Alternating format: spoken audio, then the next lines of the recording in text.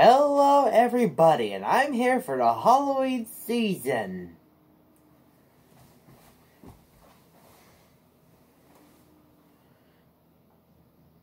Alexa, turn on the lights. That's much better.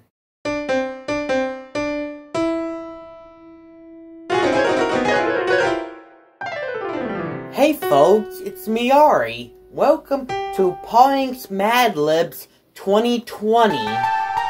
If you were members of the old Pawing channel, you remember that Eric told you a, a scary hollow Mad Lib story about something in 2018. Guess I think it's my turn to take a chance at it. Let's turn off the lights.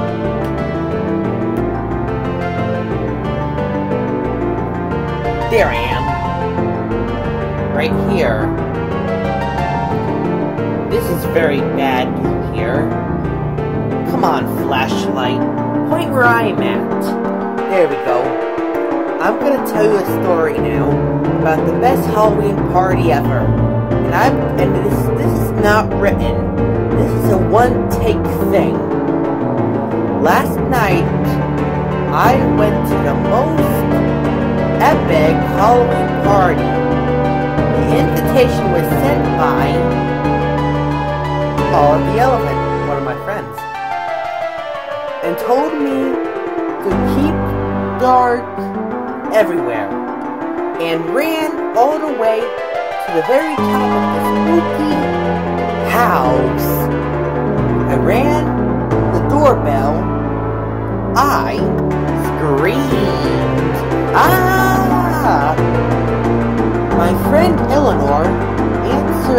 door dressed up as an owl. Or whatever. I'm, I'm gonna ignore these things. Instead, Ta-da! There were five different costumes. Including mine. And mummified stuff the music was loud and silly. Or, no, wait a minute. That's not a good word for Halloween.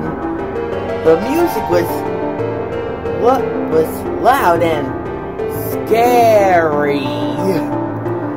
I screamed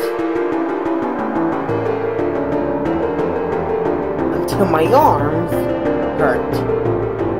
There were also delicious treats to eat, like candy corn and chocolate-covered bars, but my favorite was the party was the pumpkin pie or whatever, and bobbing for apples. I can't wait for next Halloween. It would be even more scary. Dun dun dun! Thanks for coming to Paw Inc.'s Halloween place. Hope you have a good day. I'm gonna get out of here. Bye. What do you want to do here today? No, I'm just gonna go to costume to Miss Bo's class, do some stuff.